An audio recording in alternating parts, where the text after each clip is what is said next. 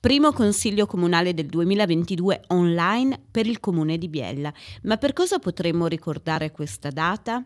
Per una pioggia di fondi a cascata su sindaco e assessori? No, non proprio, anche se alcuni bandi tra rigenerazione urbana e scuole sono stati portati a casa.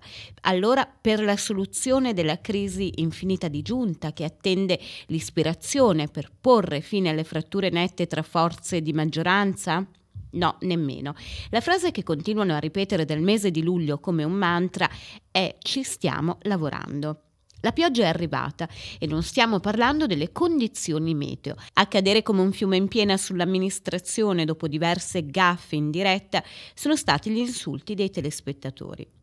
Ma ripercorriamo i fatti. A mettere in difficoltà la trasmissione da remoto di giunta e consiglieri forse l'inesperienza su questo fronte.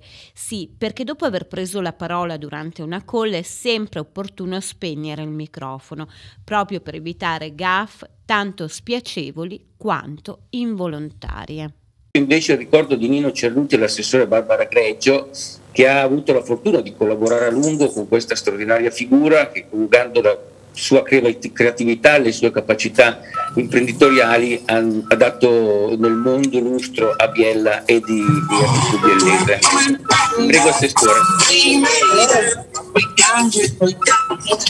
Grazie Presidente, e colgo proprio questo spunto che ha citato sulla creatività per condividere con voi quello che noi abbiamo portato nel mondo proprio come testimonianza.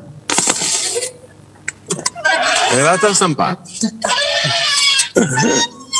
cioè vaffanculo cioè. Allora ci troviamo tutti in sala conferenza con la videosala eh, per cortesia. tutti gli assessori e sindaco tutti assieme va bene va bene siamo arrivati. Io la Greggio la Scaramuzzi e per cortesia. eh, siamo scaravallati allora ho detto no vado via. assessore Gattino merda e doveva venire Lucchetta cioè a casa attacco con per, assessore Gaggino per cortesia. Ah me l'hai preparato la fattura? Ok perfetto. Per cortesia. per cortesia mamma mia che disperazione. Ah fanculo e dopo l'uscita poco felice dell'assessora di innovazione tecnologica Massimiliano Gaggino, a fine seduta si è tentato di rimediare all'errore riproponendo il video. Peccato che il contributo a Nino Cerruti era sparito. Ma un'altra immagine ha colpito l'immaginario collettivo ed ha suscitato non poca ilarità. Il sindaco Claudio Corradino che appariva e scompariva su uno sfondo del battistero con luci colorate ed effetti speciali degni di un film di fantascienza.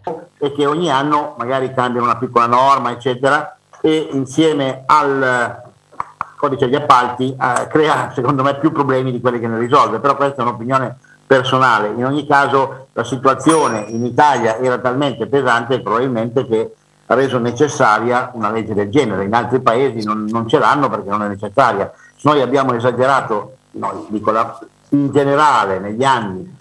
Anzi, molti l'hanno definito più vicino a una commedia. Peccato che di motivi per ridere sul fronte sanitario, economico e sociale anche nel biellese non ne abbiamo molti.